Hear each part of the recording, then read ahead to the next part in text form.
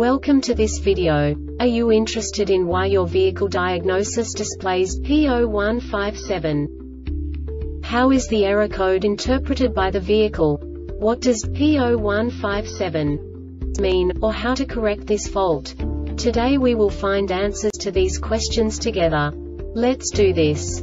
First, let's look at the history of diagnostic fault code composition according to the OBD2 protocol, which is unified for all automakers since 2000. We divide the electric system of automobile into the four basic units. Powertrain, body, chassis, network. This distribution is defined in the first character code.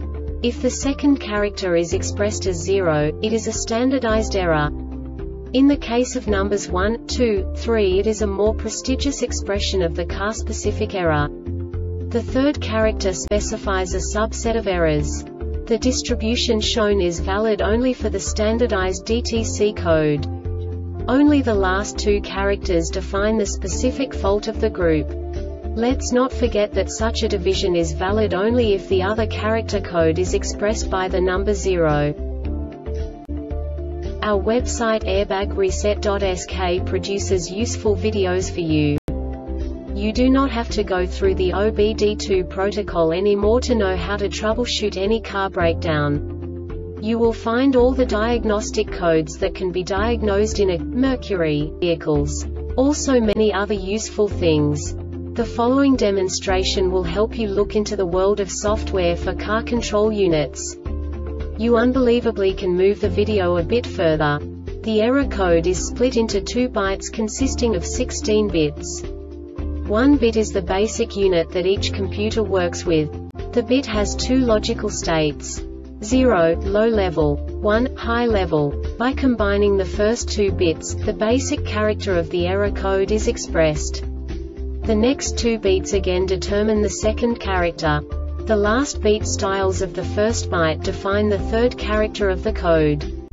The second byte is composed of a combination of 8 bits. The first 4 bits determine the fourth character of the code. And the combination of the last 4 bits defines the fifth character. A single byte conceals 256 possible combinations. We now know in what way the diagnostic tool translates the received information into a more comprehensible format. The number itself does not make sense to us if we cannot assign information about it to what it actually expresses. So, what does the diagnostic trouble code P0157 interpret specifically Mercury car manufacturers? The basic definition is Open in front passenger side squib second step circuit. And now this is a short description of this DTC code. The center airbag sensor assembly receives an open circuit signal in the front passenger side squib dual stage second step circuit for 2 seconds.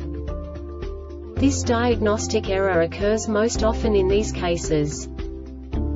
Front passenger airbag assembly Front passenger side squib, dual stage second step center airbag sensor assembly Instrument panel wire Instrument panel wire assembly The Airbag Reset website aims to provide information in 52 languages.